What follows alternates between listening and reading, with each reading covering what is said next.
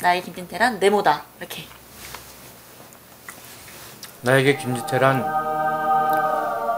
제 부족한 것을 가르쳐주고 제가 채워나갈 수 있는 용기와 그리고 어, 의지를 준 맞상대다 이렇게 생각이 듭니다. 아직까지 술이 안튼것 같아요. 어떻게 성, 섞을까요? 성마음이 안 나오고 있고 이 정치적 멘트가 나오고 있는 거. 아니 사실 아니 사실상 뭐 김지태 의원은 저한테는 말이 뭐 말이 잘안 돼.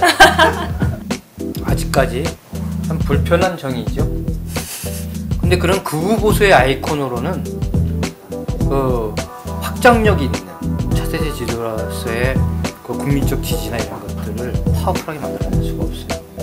근데 그 극우 보수 세력 내의 지지만을 가지고 본인의 어떤 세력 을 가지고 뭐 정치를 해나가시는데 그게 참 안타까워. 합리적 보수의 길을 가시라 이렇게 좀 얘기를 하고 싶은 거지. 혹시 김진태 후보랑 이제 엄재철 후보가 핸드폰에 번호 저장이 되어 있는지가 좀 궁금해서 되어 있으신가요? 없습니다. 어 없어요? 네. 한 번도 연락 지웠습니다. 아니 자꾸 저 본인이 하지도 않은 그 문자를 계속 보내더라고 그래가지고. 아 선거운동 좀 영상 편지를 해달라고 이 제형 붙여갖고 어. 김지태 형님. 소주 한 잔 사주십시오. 와